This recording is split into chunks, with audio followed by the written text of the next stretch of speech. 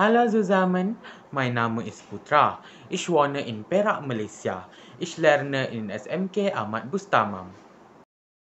Ich lese und sammle gerne Bücher. Uh, hier haben wir einige der Bücher, die ich habe.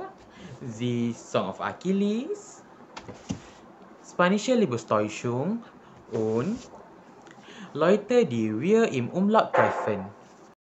Dass die Leute heutzutage hauptsächlich Apps wie TikTok und Instagram verwenden, richtig? In diesen Apps können wir neue Freunde finden und vielleicht können einigen von ihnen aus Deutschland. So, können wir uns leicht mit unterhalten.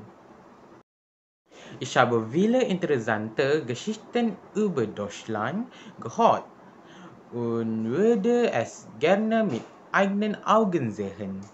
Dankeschön, tschüss.